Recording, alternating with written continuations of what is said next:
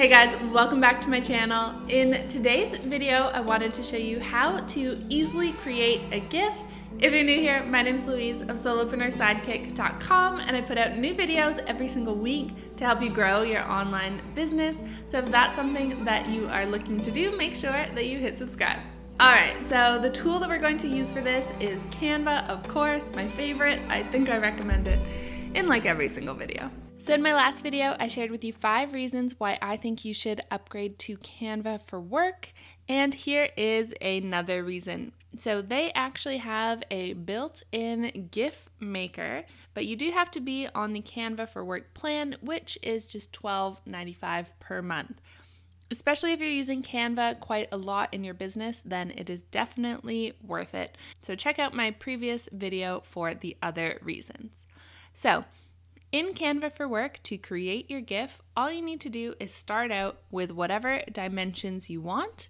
I'm going to go with an Instagram post.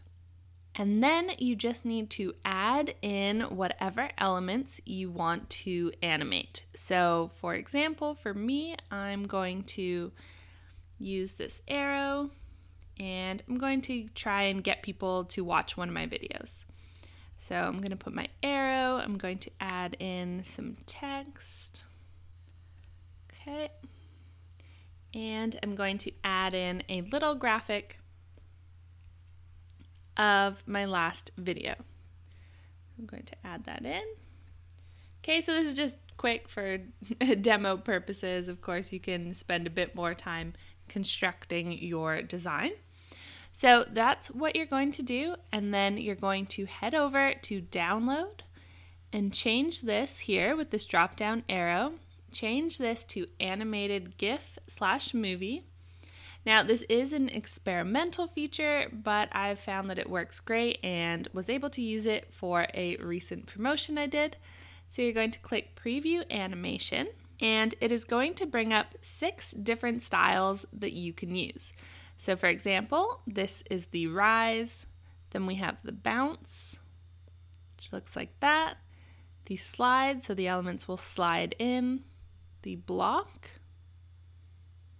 which looks pretty cool, the 3D, and the fade. So go through these styles and choose whichever works best for the animation that you have created.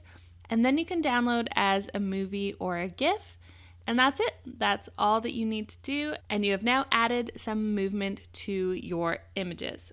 So, another thing you can do is you can actually stack other elements before this. So, if I click Add New Page and then I move this to the top, I can just do something simple, for example, like change the background color. And then I can add a new page to the end. And let's say I want to finish it off with my logo. So I can do that. I'm gonna make this a bit smaller and center that. All right, cool. So now let's see what that looks like in full. I'm just going to click download, change this to animated GIF slash movie, preview animation, and now as you can see, it has just added these elements together. And that's it. So super simple. Most of the time, if I'm sharing on social media, I just download it as a movie, but it does depend on where you're going to be sharing it.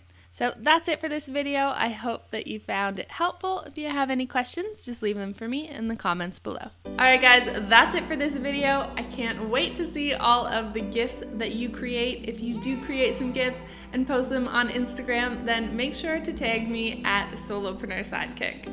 If you like this video, make sure to let me know by giving it a thumbs up and hitting subscribe, and I'll see you guys soon with another video.